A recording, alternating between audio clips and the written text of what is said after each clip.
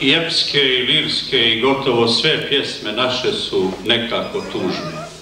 Prije pola vijeka ono poznato Mala moja, moj cvijetu, ne nadaj se više ljetu, niti ljetu, niti proljeću, ja ti više doći neću.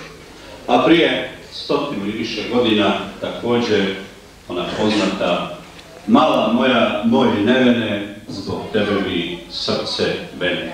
Što bi bilo da nema pjesme? Što bi bilo da nema gusala? Vlado Kuksina.